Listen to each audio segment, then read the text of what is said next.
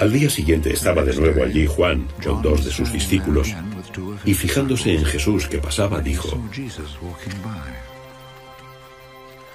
He aquí el Cordero de Dios. Los dos discípulos que le oyeron hablar así siguieron a Jesús.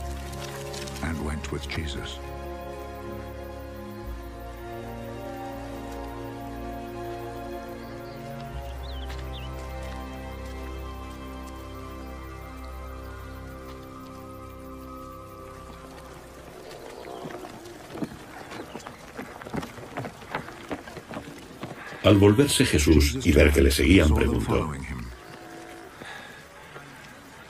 ¿qué buscáis? Ellos le respondieron, Rabí, que significa maestro, ¿dónde vives? Les dijo, venid y lo veréis.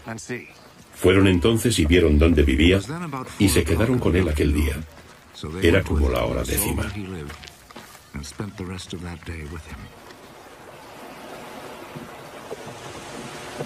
Andrés, el hermano de Simón Pedro, era uno de los dos que habían oído a Juan y siguieron a Jesús.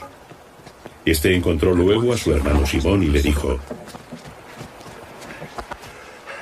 Hemos encontrado al Mesías, que significa Cristo. Y lo llevó a Jesús.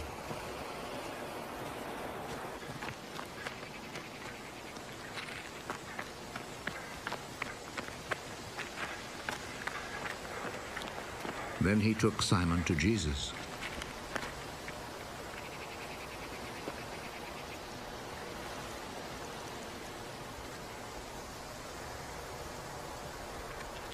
Jesus looked at him.